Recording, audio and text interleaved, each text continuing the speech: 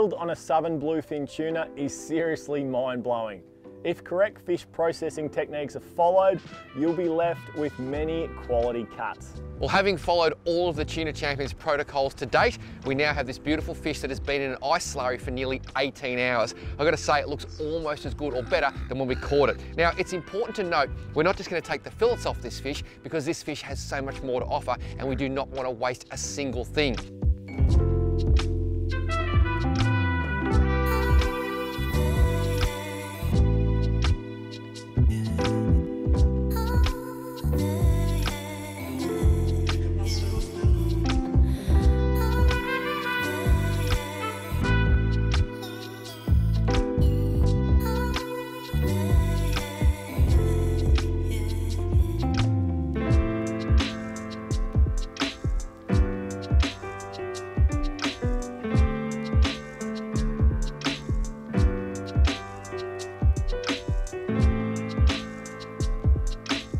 So once we've taken the fillets, we're also going to take the collars.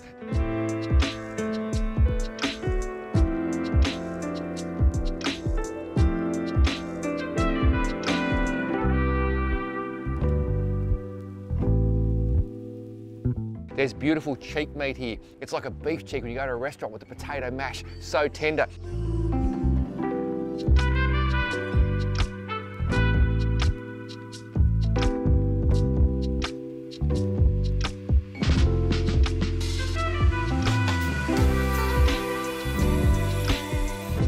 There's a head fillet as well.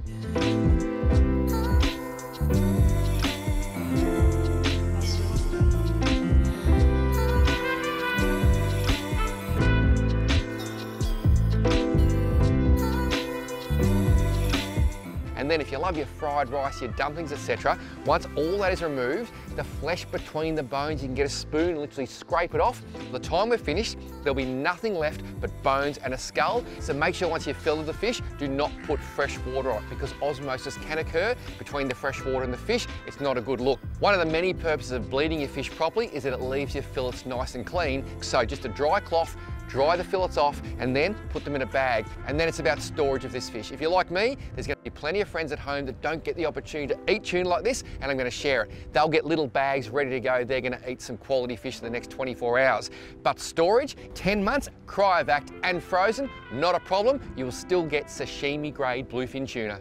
So how good is the final product when you break down a tuna properly? Look at these beautiful big fillets. They are gonna make some incredible steaks and sashimi. The collars, they are so good. Look at all this beautiful, soft, tender meat, almost like when you get that leg meat on a chicken. So tender, so beautiful to eat. These cheeks, they will be absolutely amazing. The head fillets, look at the difference in color, so nice. And when you look at this, nothing left at all, not a skerrick, no waste. And that stuff there, how good's that going to be in some beautiful recipes? If you take the time to break these fish down properly, there's just so much quality food. Seriously, this is almost art.